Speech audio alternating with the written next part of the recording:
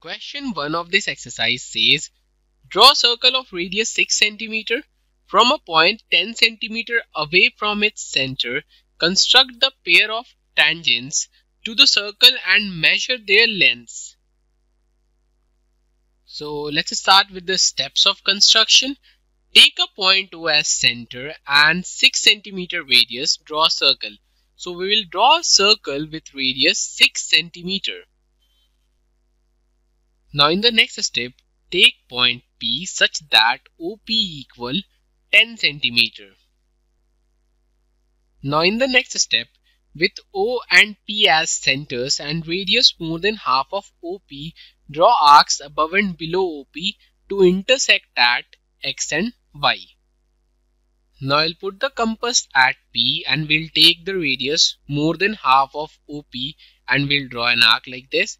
Similarly, we'll put the compass at O and we'll draw another arc that intersect the initial arc like this. Same thing we'll do below the line OP. And after that, we name the point of intersection as X and Y. Now this XY intersect OP at M.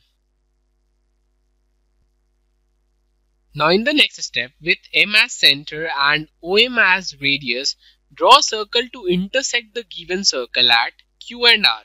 So we'll draw a circle like this with M as center. And this circle intersects the given circle at Q and R. Now in the next step, join PQ and PR.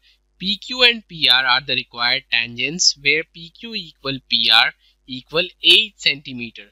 So we just need to join P to Q and P to R and they are 8 centimeter. So PQ and PR both are 8 centimeter. Now let's do the justification of the construction. Angle PQO equal 90 degree. So first of all we need to join O and Q and angle PQO equal 90 degree. Now if we take triangle PQO and if we use Pythagoras theorem we'll get PQ square equal OP square minus OQ square from here we'll get the value of PQ that equal 8 centimeter.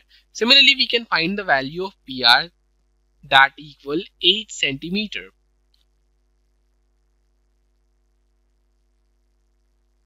To learn more about how Cuemath can help you crack school and board exams, explore Cuemath Leap a live online classroom program run by highly experienced and committed teachers.